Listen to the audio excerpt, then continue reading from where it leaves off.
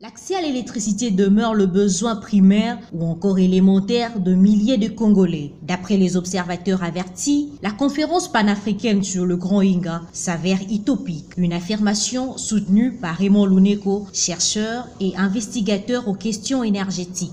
Nous sommes convaincus que la conférence panafricaine ne sera pas la dernière messe qui va réunir tous les experts et nous sommes fortement convaincus qu'au cours de cette conférence, euh, les organisateurs ne seront pas capables de mobiliser des fonds qu'il faut pour les parachèvements du projet Grand Inga. Et puis deuxièmement, nous pensons aussi que ce n'est pas à l'issue de cette conférence panafricaine que la population congolaise aura automatiquement accès à l'énergie électrique, comme vous le savez, que si vous comparez les différents rapports du système d'information énergétique que nous appelons CIE RDC, depuis 2010 et jusqu'à nos jours, la RDC est incapable de hisser un peu plus haut les taux d'accès à l'énergie électrique sur l'ensemble du territoire national, surtout dans les milieux ruraux. Jusque-là, nous ne sommes qu'à 1%. Donc, les Congolais ont vraiment besoin d'énergie électrique et nous ne pensons pas que c'est cette conférence-là qui euh, permettra aux Congolais d'avoir accès à l'énergie électrique. Voilà pourquoi nous disons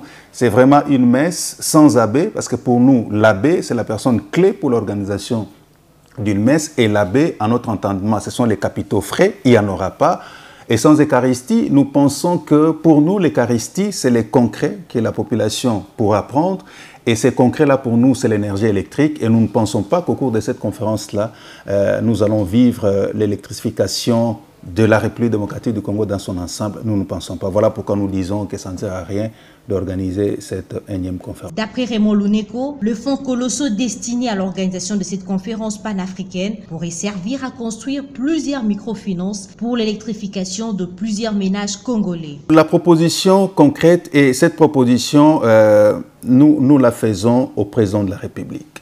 Je suis convaincu, la première des choses que nous demandons, est-ce qu'il n'y a pas moyen de mettre à la place publique les budgets total de l'organisation matérielle et logistique de la conférence panafricaine? Si cette organisation matérielle, déplacement des chefs d'État, déplacement des experts nationaux et internationaux, déplacement des invités des marques, location de, des hôtels, et ainsi, si ça, va, ça peut nous coûter une affaire de 2, 3, 4 millions de dollars américains, nous, nous proposons, en lieu et place d'investir cette somme pour l'organisation de cette conférence pour la construction d'un micro-ballage, madame. Ça demande entre 1200 euros et 3000 euros.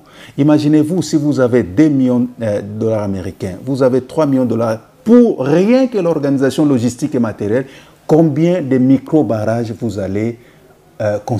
Ainsi donc, le président de la République ainsi que le bailleur de fonds sont invités à initier de bonnes options au bénéfice du peuple congolais en quête du courant électrique depuis plusieurs années.